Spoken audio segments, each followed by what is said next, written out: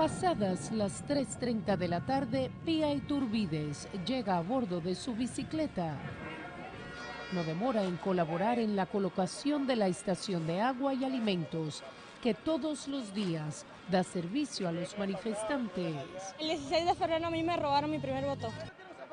Con apenas 18 años, vio frustrada la oportunidad de ejercer el sufragio por primera vez. Sus abuelos maternos son dominicanos, aunque su madre nació en Chile y su padre en Colombia, ella nació y se crió aquí. Y más que nada indignada, ¿no? Y, con rabia, porque para mí, o sea, no es cierto que aquí se trajo una compañía internacional para que hiciera una auditoría forense de un costo de 30 millones de pesos, que verificara el sistema y que de repente que se cayera, que no aparecieran candidatos, a mí eso me hace sentir indignada. Y yo demando... Esa misma indignación la llevó a unirse a las protestas desde el pasado martes. Yo estoy aquí no para que la Junta se vaya, no por insultar al presidente, estoy para que me traigan una investigación que hable sobre la verdad. ¿Qué fue lo que pasó con ese sistema? ¿Qué fue lo que pasó con nuestro dinero? ¿Y quién de verdad fue el culpable de eso? Las manifestaciones que este lunes arribaron a su primera semana son impulsadas por millennials, es decir, jóvenes que no superan los 27 años, aunque con el paso de los días reciben apoyo de personas de todas las edades que comienzan a llegar de las 3 de la tarde en adelante. Algunos con fardos de agua en mano, aglomerándose en torno a las vallas colocadas sobre la avenida Luperón, separándoles así de la Junta Central Electoral. En el centro de la plaza otros arriban, mientras que algunos ponen de manifiesto su creatividad, elaborando los cartelones que exhibirán. Del otro lado, los policías que custodian las afueras del órgano electoral. Lo ocurrido el domingo 16 fue la gota que derramó la copa. Es cierto que uno quiere que se vayan, es cierto que uno está harto de lo mismo, de la corrupción, del abuso, de un sistema en el cual mantienen al pobre siendo pobre y mientras los servicios públicos, o sea, uno no puede depender de ellos porque son todos una basura. Desde que escuché lo que estaba pasando, salí de mi casa en el interior. Motivada por la idea de servir a quienes se están manifestando, Saudí García llegó desde Moca con agua y comida que ofrece gratuitamente. Dejé hasta la ropa tendida, una pala en, en la estufa. En su esfuerzo no se queda sola. Cada tarde otros jóvenes acuden a ayudar, cortando frutas, repartiendo agua y galletas. Otros se motivan a donar cajas de pizza.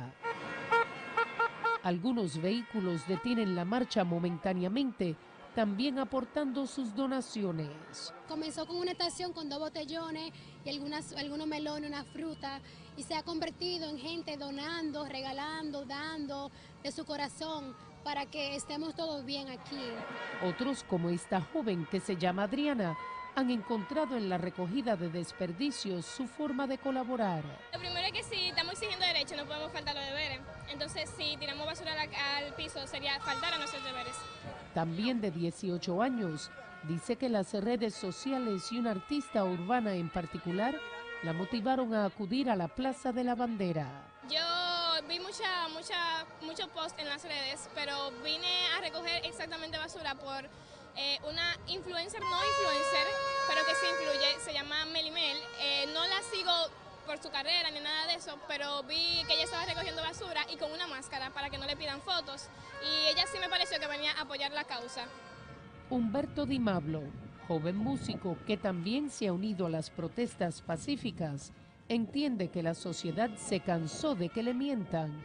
Estoy aquí exigiendo mis derechos y exigiéndole a los presidentes de la Junta Central Electoral que cumplan su labor, que se hagan hombres responsables y cumplan su labor y digan por qué falló, por qué se canceló y quién es el culpable. Fue uno de los pocos que llegó el primer día.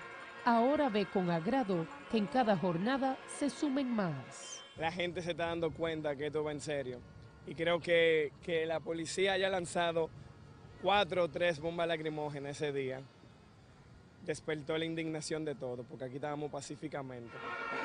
La motivación de Erickson Calderón también nació de las redes sociales. Vi el post en Instagram de que ellos estaban retirando la bandera y ahí también hacían alusión de que creo que el día anterior la bandera se habían bajado a media asta y supuestamente quizás por eso ellos retiraron la, la bandera. Esa retirada de la bandera tricolor en el mes de la patria se convirtió en un catalizador. El abuso fue más grande el quitarla. Eso, una, una acumulación de impotencia, de tú no poder hacer nada como una sola persona. Pero ver ya a estos jóvenes que, que están tomando este paso de manifestarse, los quiero apoyar y por eso estoy aquí. Y por eso tomé la iniciativa también de comprar la bandera y, colocarla nuevamente. Y espero que las personas terminen de colocar las banderas que faltan. Rosy Rosario, además de apoyar las manifestaciones, hace un llamado a sus colegas. Yo soy una educadora dominicana y te digo a ti, educador, no tengas miedo de venir a reclamar tu derecho. Ten miedo a pararte frente a unos estudiantes y enseñar el miedo y la opresión. República Dominicana necesita, necesita de los maestros que un sueldo, eso se consiga donde sea. El miedo, nunca. Enseña con respeto, maestro dominicano. A medida que cae el sol, se suman más. Algunos acuden hasta con sus mascotas a respaldar la iniciativa, que no acepta expresiones de banderías políticas. La gente no puede venir aquí con insignia política, porque eso no es debido. En ninguna de las protestas pueden venir representando ningún partido, porque eso es no partidista. Eso es para que de verdad empecemos una conversación sobre la patria y la nación que nos merecemos. Unas cuatro horas después de que la vimos llegar, Continúa manifestándose. Esta vez, las autoridades han cerrado el tránsito justo en el área que da frente a la Junta. Como estamos procesando todos acá y todos tocaban bocina al vernos pasar la Junta Central Electoral, que le pregunté a un policía que quién mandó ordenar, no me supo decir, eh, mandaron ordenar a cerrar el tráfico, entonces todos los protestantes que estaban congregados enfrente de la Junta iniciaron un grupo grande a trasladarse hacia la dirección de donde todavía sigue pasando el tráfico, que es del otro lado de la rotonda, para hacerse escuchar, para hacerse sentir. Hacerse sentir era justo lo que hacían los jóvenes pasadas las 7 de la noche. Con tambores, consignas y bailes, parecían haber recargado energías. Media hora más tarde, Pía se alistaba para emprender el camino de vuelta a casa. A mi papá le preocupa que esté muy de noche en la bicicleta. Asegura regresará mientras continúen las manifestaciones. Hasta que no acabe la protesta, todos los días estamos vivos acá, desde las 3 o 4 hasta, bueno, en mi caso hasta las 7 o 8. Al otro lado de la Plaza de la Bandera, un grupo hace sus reclamos con la misma intensidad que hace horas. Otros se aseguran de recoger los desperdicios. Las botellas de agua siguen llegando mientras que arrecian las consignas.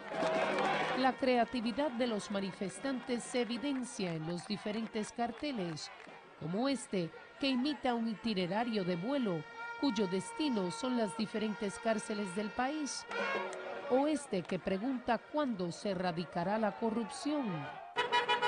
Desde la avenida Luperón los conductores ofrecen su apoyo haciendo sonar las bocinas. Pasadas las 10 de la noche, un vehículo lleno de consignas atrae a los manifestantes, mientras que a todo volumen suena el merengue de Fernando Villalona, Dominicano Soy. Una hora y media más tarde, los agentes policiales inician su retirada. Lo mismo hacen los jóvenes que desde temprano protestaban.